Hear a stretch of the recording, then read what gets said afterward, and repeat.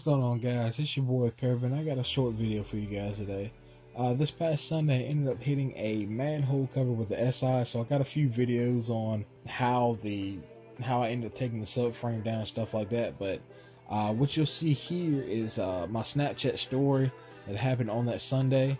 Uh, this is what happened after I hit that manhole cover. For some of you that do follow me on Snapchat, have already seen this. But if you're just now tuning in, this is what you uh, this is what you would have seen uh, there's a picture up here that I do have of the hole in the uh, oil pan itself. And this is just what happens when you're just so dirt nasty low and you can't see your manhole cover that's in the middle of the road. Uh, the road that was out there was real uneven, and the manhole cover, of course, is supposed to be flush with the ground. It wasn't. It wasn't painted, so I ended up hitting it. I wasn't going that fast. It just it happened out of nowhere.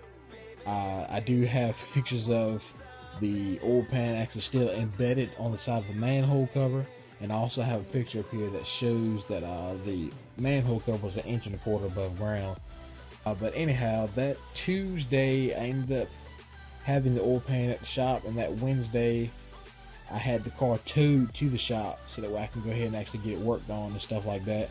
I ended up doing it in a day's process. Uh, I got it done I think that Thursday night ended up, you know, getting parts and stuff though that Tuesday. But these next few clips you'll see, it'll just be like a process of me doing it. Really not a DIY. It's just showing that the subframe was down, the oil pan was down, the oil pan is up. I didn't really want to do a lot of recording due to the fact that I was at work. So I got a few clips to show you what was going on and to show you that the car is now back on the road.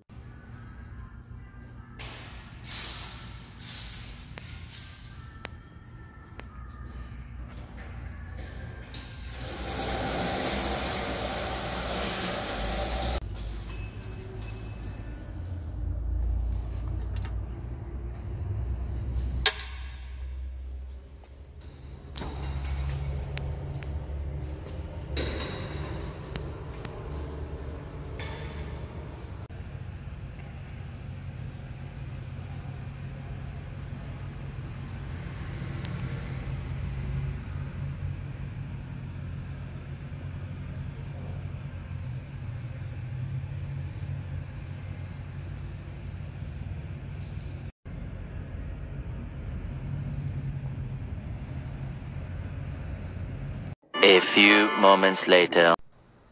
Alright, so update. New pan is in, old pan is out. Uh, subframe is up finally. Uh, I still got to tighten up the rear mount bolt here. I got to tighten up this first mount bolt here. Got to tighten up these here. Focus. Like I said, then the same thing on the other side. Same thing with the tie rods and then I can go ahead and finally do an alignment on it. Okay, I'm going to pause the video there for a second for a pro tip. If you take the subframe down from any car, it is always recommended that you do an alignment because your suspension has now been compromised. Once you take the subframe down, it does shift suspension a little bit, so you kind of want to get all that stuff back straight again. Hopefully she'll be ready here soon. Be back on the road and ready to drive again. I already missed it even though it's been a couple of days. Day two.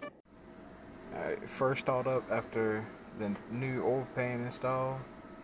Let's see here, the oil pressure light does work. So let's see if that actually go out.